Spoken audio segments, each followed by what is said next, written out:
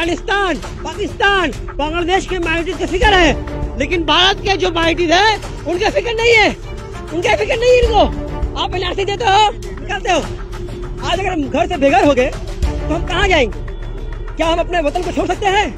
ये मोहब्बत हमारी वतन की मोहब्बत है, जिसको हम कभी छोड़ नहीं सकते, जिसको हम कभी भूल नहीं सकते। सीए कानून इम्प्लीमेंट होने के साथ ही इसकी मुखालफत भी शुरू हो गई। जी, अगर आपको याद हो कि 2019 में जब सी ए सी और एन पी आर के ख़िलाफ़ में जो लोग मुखालफत कर रहे थे, वो वापस से डेमोस्ट्रेट करने के लिए सड़कों में उतर गए। आपको बताया कि समाजतांत्रिक बोंगियो, पुरुष मोर्चा जो शाम पाक सर्कस के अरसलान के सामने अपना प्रदर्शन दिखाने वाली थी, उनसे बात की और उस प्रोग्राम मौके पर मौजूद रहे अली फहद खान, जो कि पाक सर्कस इलाके के प्रेसिडेंट है। सादी तोपसिया के मेंबर जनाब तनवीर साहब उत्तर पाठक जो कि वेस्ट बंगाल स्टेट प्रेसिडेंट है वर्किंग प्रेसिडेंट है एडवोकेट समृद्ध देव और तोपसिया की प्रेसिडेंट यास्मीन खातून कोलकाता शहर के पाक सर्कस के कमेटी के मेंबर भी मौजूद रहे जिनके नाम सुलेमान बताए जा रहे हैं मोहम्मद सलामुद्दीन सादिक साहब और काजी शहीदुल्ला ये लोग मौजूद थे आइए आपको सुनाते हैं क्या कुछ कहना है সমাজতান্ত্রিক বঙ্গীয় পুরুষ মোর্চার পক্ষ থেকে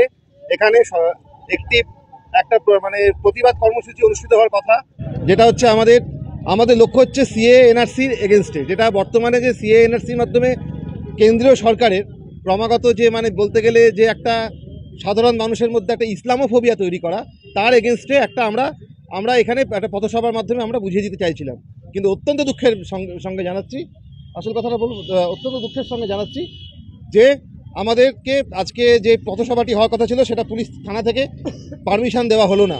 এই পথসভাটি অনুমতি দেওয়া হলো না এবং পথসভাটি কোনো রকম কোনো রকম এখানে পথসভা করতে দেওয়া হলো না।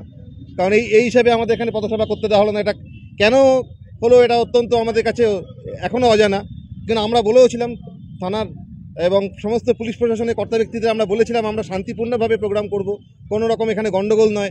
তবু আজকে পথসভা করতে দেওয়া হলো না। কারণটা কি দিয়েছে পুলিশ? কারণটা বলছে যে এখানে একটা অশান্তি সৃষ্টি হবে এইসব কথাগুলো বলছে।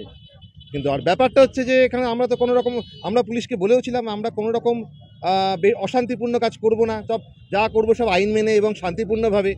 কিন্তু তা তা সত্ত্বেও আজকে আমাদের এখানে পথসভার অনুমতি দেওয়া হলো না। আচ্ছা। আপনার নাম উত্তরণ পাঠক রাজ্য সভাপতি সমাজতান্ত্রিক বঙ্গীয় পুরুষ মোর্চা। धन्यवाद। समाजतांत्रिक बोंगो पुष्प मोर्चा के पाक सकत कलकत्ता शहर पाक सकत के प्रेसिडेंट हूँ। और मैं सबसे पहले शुक्रिया अदा करूँगा अपने वकील प्रेसिडेंट साहब, समितो देव, और हमारे प्रेसिडेंट साहब, श्री उत्तरण पाठक, जो आज इस एस इस एनजीओ को यहाँ पर लेके आए। पे हम लोगों ने आइन को फॉलो किया। पुलिस हमें मना किए, हम लोग उनको माना। उनके बातों को हम लोग माना। थोड़ी बहुत थोड़ी बहुत आर्गूमेंट हुई है, लेकिन हम लोगों ने माना। लेकिन हम लोग ये क्यों कर रहे हैं? हमारा वजह यह है कि हम बाबा साहब अंबेडकर का दिया हुआ संविधान को बचा रहे हैं। जिस संविधान में बाबा साहब ने कहा right to equality right to fertility justice liberty equality of thought belief faith and worship तो हम भारत के लोग अगर अपने मुल्क को नहीं बचाएँगे तो किसको बचाएँगे? किसको बचाएँगे? आज अगर हम घर से बेघर हो गए तो हम कहाँ जाएँगे? क्या हम अपने वतन को छोड़ सकते हैं? ये मोहब्बत हमारी वतन की मोहब्बत है। जिसको हम कभी छोड़ नहीं सकते जिसको हम कभी भूल नहीं सकते। आज हम लोगों ने पुलिस की बात माना। यही समाजवादी बोंगो पुरुष मोर्चा का पैगाम है कि हम संविधान को लिए चलते हैं, संविधान के पास खड़े होते हैं और संविधान को लेकर चलते हैं। यकीनन हम लोग का पुरुष मोर्चा है।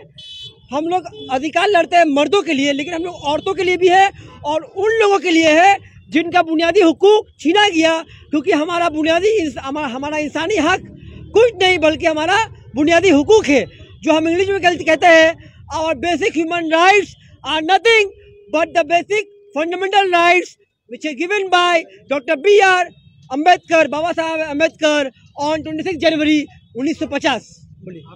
हमने C double A N R C N P R पहले समझिए, ये तीनों एक सिक्के के तीन रुख है, ये तीनों भाई जैसे हैं। और ये बात हमने थाना में भी बताया, जब चिट्ठी लिखा, हमने कोर्ट में भी, वहाँ भी हमने पिटिशन डाले हमने यहाँ भी आवाज़ उठाने के लिए हमने खड़े रहे इस गर्मी में। और हाँ हमारे पास कॉपी नहीं है ये सब जो हमारे पॉइंट्स हैं जो मेरे हाथ पे हैं क्योंकि हमारे सब, हमारे वर्किंग प्रेसिडेंट साहब हमारे प्रेसिडेंट साहब ने कहा कि बगैर हमारे इजाज़त को कुछ आगे मत करना। हम उनके परमिशन के बगैर आगे कदम नहीं बढ़ाते ये हमारा एनजीओ का पैगाम है। उन्होंने कहा कि हम लोग पहले प्रोटेस्ट हम लोग पहले प्रोग्राम करने वाले थे आप यहाँ उसके बाद हम हम लोग यहाँ पर प्रोग्राम करने वाले थे क्या program the awareness about the NRC, CAA and NPR. What is NRC? What is CAA? What is NPR? देखिए भाई सब पढ़ा लिखे नहीं है हम सब उतने काबिल नहीं है बोलिए आपने परमिशन कहीं नहीं लिया था उसके लिए यकीनन हम लोग बिंडियापुर थाना में बोला हमने ए सी में यहाँ बताया ईमेल एड्रेस दिए हम लोग आइन को लेकर चलते हैं समाजतांत्रिक बोंग को पुष्ट मोर्चा आईने सामने दड़ाए आइन के নিয়ে চলে লোকের সাথে থাকে লোকের পাশে দাঁড়ায় লোকের সামনে থাকে একটা বিষয় খুব স্পষ্ট আজকে আমাদের এখানে এনআরসি সি ডবল এ নিয়ে অলরেডি দুর্গানগরে কাজ চালু হয়ে গেছে আমরা দেখেছি আসামে কিভাবে করে ডিটেনশন ক্যাম্প বানিয়ে মুসলমানদেরকে সেই ডিটেনশন ক্যাম্পের মধ্যে ঢুকিয়ে দিনের পর দিন অত্যাচার করতে করা হয়েছে সেই অত্যাচার আমরা বাংলার বুকে হতে দেব না আর আমি সেই সেই লক্ষ্যে আজকে এই তামাম পাকসার কাছে সকল মুসলমান ভাইদেরকে এইখানে আমি ডাকছি যে এই কম এই জাত খোদা ছাড়া আল্লাহ ছাড়া নিশ্চয়ই। কাউকে ভয় পায় না তো এই কম একত্রিত যদি হয় তাহলে কেন্দ্রীয় সরকারে বসে থাকা বিজেপি সরকারকে দু মিনিটে ছুঁড়ে ফেলে দিতে পারবে एनआरसी क्या है देखिए NRC C double A C double देखिए इनका साजिश देखिए क्या है जैसे हमारे वकील पति साहब ने कहा इनका साजिश ये है एडवोकेट का नाम क्या है? एडवोकेट समित देव कहाँ के ये हमारे एडवोकेट बैंशल कोर्ट के हैं और मैं advocate Ali Faaz Khan Bankshall court as well as Sealdah court मैं ये बताना चाहूँगा मैं थोड़ा सा बात खत्म करता हूँ। एनआरसी क्या है समझिए? देखिए चीख पुकार सब करते हैं। पहले एनआरसी क्या इन लोगों ने? हम लोगों ने प्रोटेस्ट किया दो हज़ार उन्नीस में। कोविड आया बंद हो गया फिर इन लोगों ने क्या किया? सी डबल ए किया। सी डबल ए क्या है? Citizenship amendment act C double A NRC NPI तीनों एक है। अब बीजेपी वालों ने क्या किया? सी डबल ए करके हमें गुमराह किया। सी डबल ए क्या है? सी डबल ए में क्या है? ये तीन मुल्क से, अफ़गानिस्तान, पाकिस्तान, बांग्लादेश से जो माइनॉरिटीज है, यानी कि अल्पसंख्यक, यानी माइनॉरिटीज जिसको पनिश किया जा रहा है, यानी जिसके पर अत्याचार हो रहा है, उनको सी डबल ए के तहत नागरिकता दिया जाएगा। यानी हमारे हिंदू भाई, हमारे सिख भाई, पारसी भाई, बुद्धिस्ट भाई, जैन भाई, तमाम जितने भी भाई हैं, सबको मिलेगा नागरिकता। लेकिन लफ्ज मुसलमान से डरते हैं ये लोग।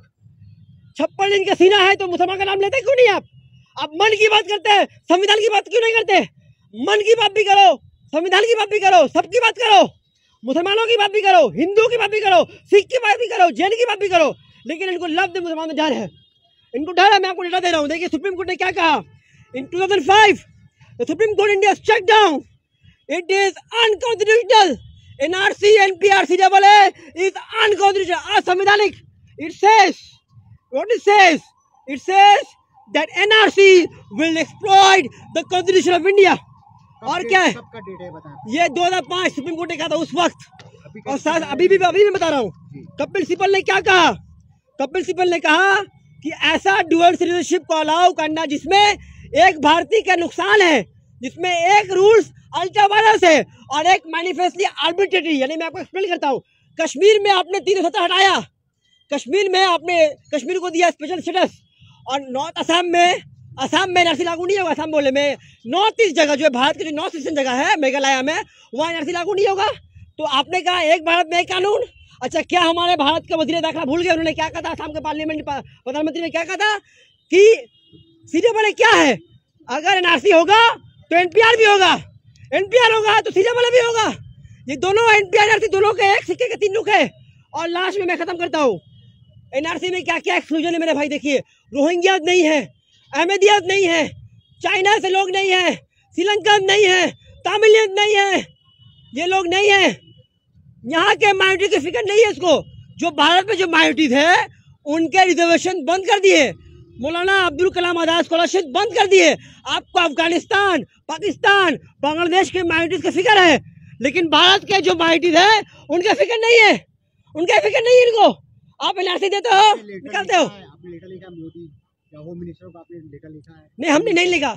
हमने क्यों नहीं लिखा? क्योंकि हमारा उत्तरण पाठक हमारे प्रेसिडेंट साहब और हमें वर्किंग प्रेसिडेंट साहब का एक ही राय है कि पहले हम लोग लोगों को अवेयर करेंगे। हम लोग उसके बाद लोगों के सिवा में लोगों को बताएँगे उनकी खिदमत करेंगे बस सर्विस देंगे उसके बाद हम लोग करेंगे। आपके ऑर्गेनाइजेशन कितने लोग हैं? हमारे ऑर्गेनाइजेशन में अभी उमूमन पचास लोग हैं। हम लोग काम कर रहे हैं हमारा एक ही पैगाम है हक की आवाज़ उठने को कि जब हक की आवाज़ उठती है तो बातें की खत्म होती है।